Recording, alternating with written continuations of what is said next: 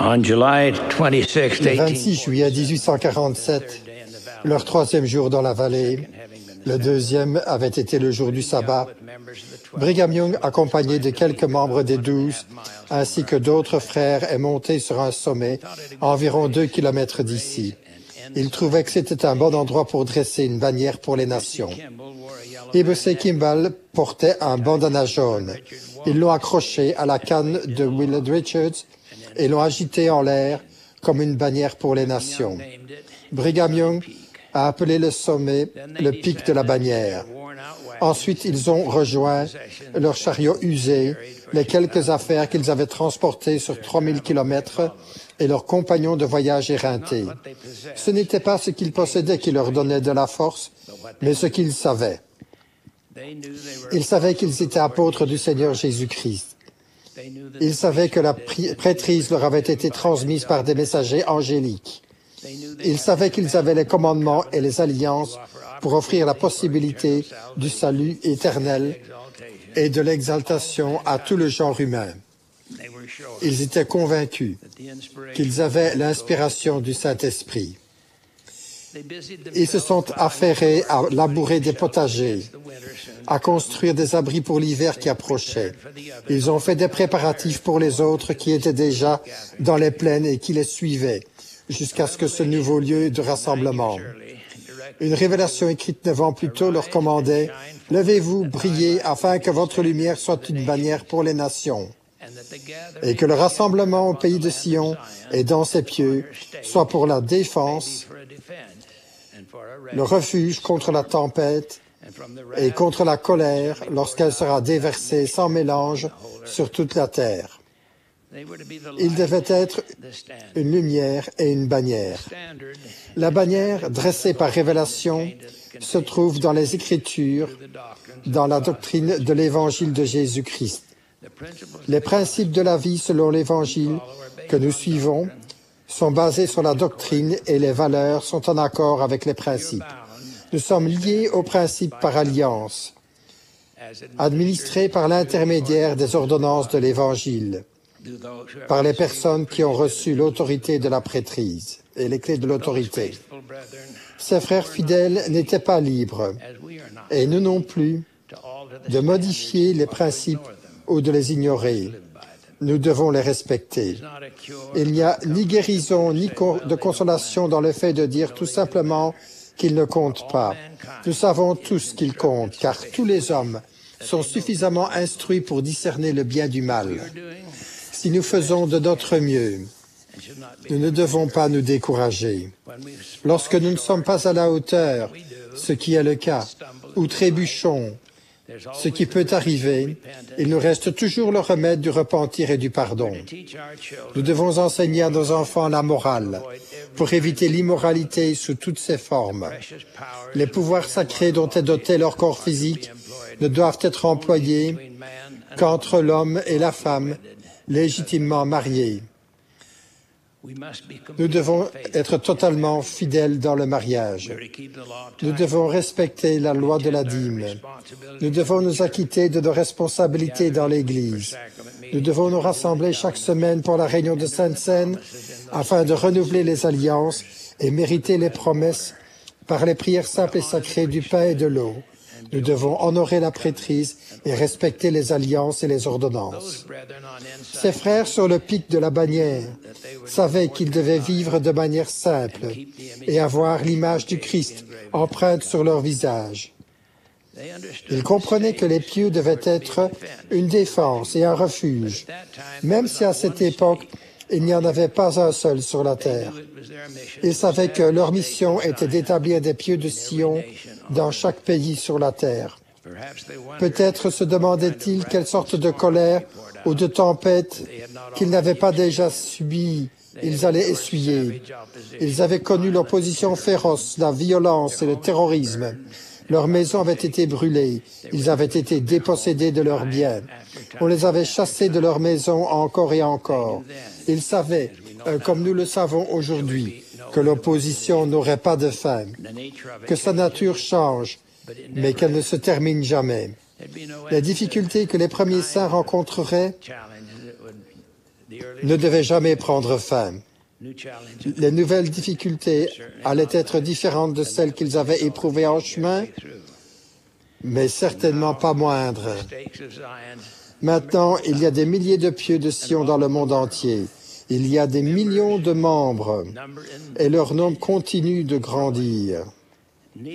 On ne peut l'empêcher car c'est l'œuvre du Seigneur. Il y a maintenant des membres dans 169 pays et ils parlent plus de 200 langues. Il y a des personnes qui vivent dans une peur inexprimable de ce que le monde nous réserve à nous et à nos enfants. Il devient de plus en plus sombre du point de vue de la moralité et de la spiritualité. Si nous nous réunissons à l'Église, que nous vivons les principes simples de l'Évangile, que nous menons une vie droite, que nous respectons la parole de sagesse, que nous honorons notre prêtrise et nous acquittons de nos autres devoirs, alors nous n'avons pas à vivre dans la peur. La parole de sagesse est une clé pour être une bonne, en bonne santé physique et pour recevoir la révélation. Abstenez-vous de thé, de café, d'alcool, de tabac et de drogue. Nous pouvons vivre où nous le voulons, faire de notre mieux pour gagner notre vie, modestement ou dans l'abondance. Nous sommes libres de mener notre vie comme nous l'entendons, assurés de l'approbation et même de l'intervention du Tout-Puissant, confiants d'être constamment guidés spirituellement. Chaque pieu est, est, une défense, un refuge et une bannière. Un pieu a en lui tout ce qui est nécessaire au salut et à l'exaltation des personnes qui viennent dans sa sphère d'influence, et les temples sont de plus en plus proches.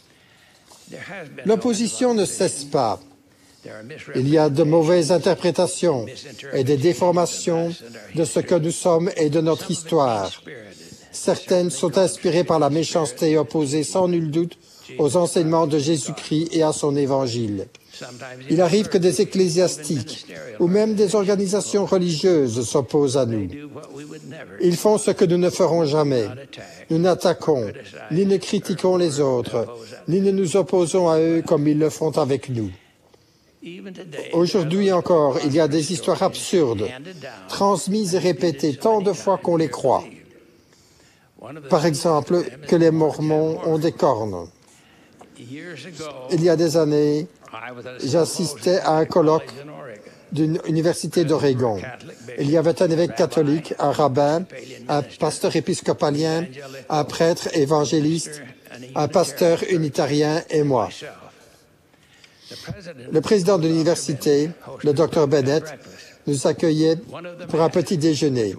L'un d'entre eux m'a demandé avec quelle femme j'étais venu.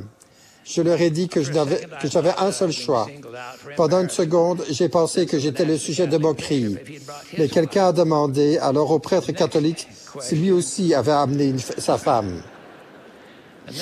Ensuite, on m'a posé une autre question.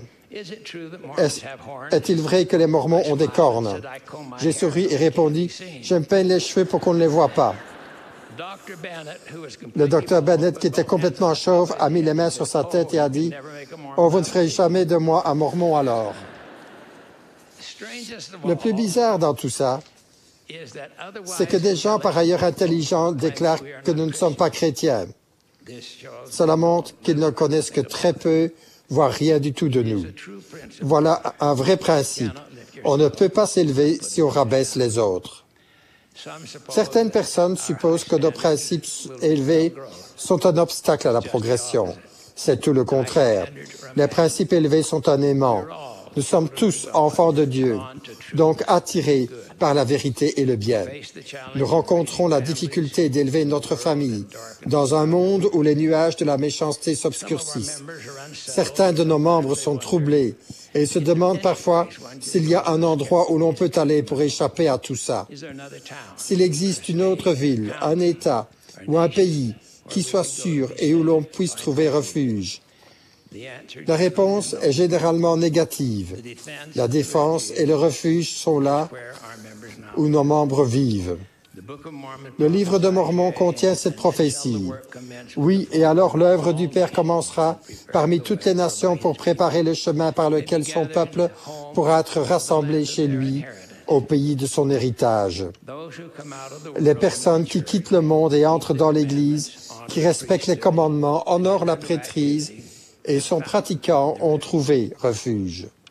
Il y a quelques semaines, au cours d'une réunion, frère Robert Oakes, un des sept présidents des 70, général d'armée retraité et commandant de l'armée de l'air de l'OTAN en Europe centrale, nous a rappelé l'accord signé par dix pays à bord du cuirassé Missouri dans la baie de Tokyo le 2 septembre 1945, mettant un terme à la Seconde Guerre mondiale.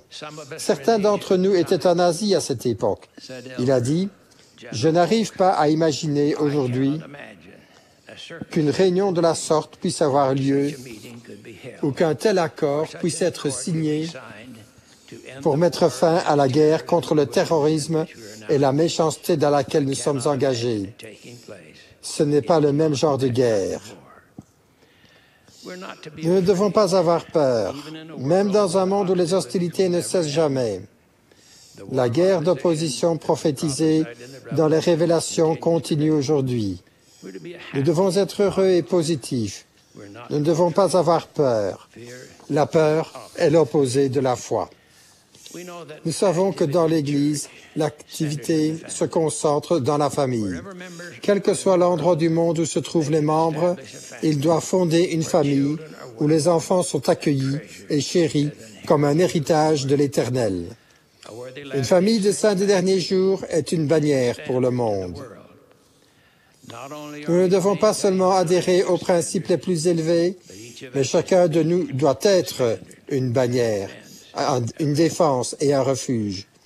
Nous devons faire en sorte que notre lumière luise ainsi devant les hommes, afin qu'ils voient nos bonnes œuvres et qu'ils glorifient notre Père qui est dans les cieux.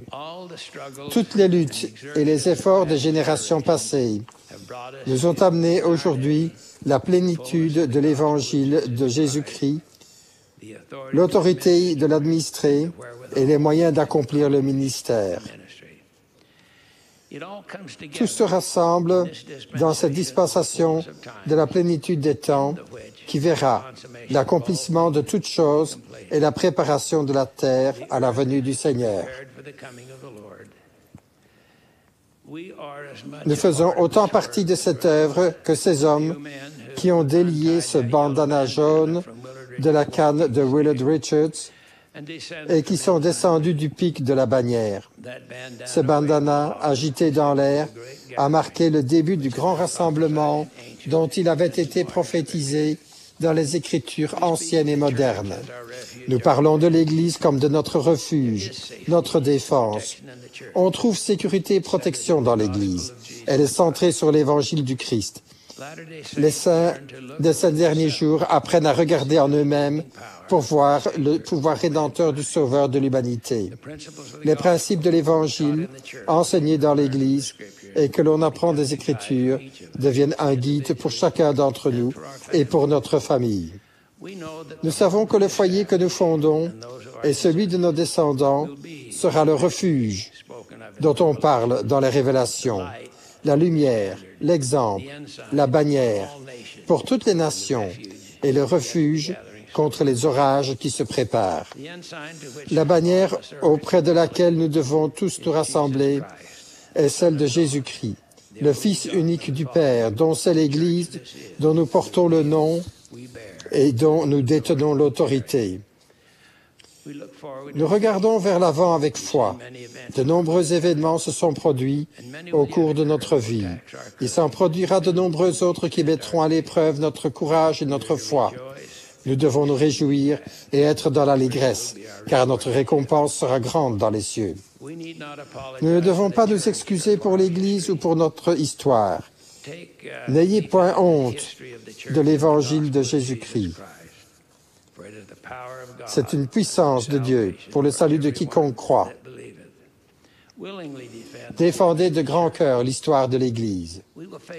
Nous ferons face aux difficultés car nous ne pouvons les éviter, et enseignerons l'évangile de Jésus-Christ, et enseignerons le Christ disant qu'il est notre Sauveur, notre refuge et notre Rédempteur.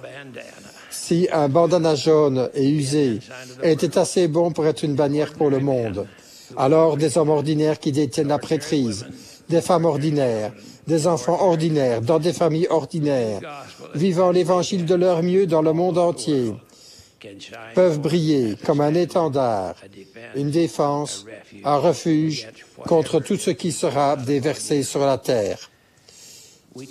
Et nous parlons du Christ, nous nous réjouissons dans le Christ, nous prêchons le Christ, nous prophétisons concernant le Christ, et nous écrivons selon nos prophéties, afin que nos enfants sachent vers quelle source ils peuvent se tourner pour obtenir la rémission de leurs péchés.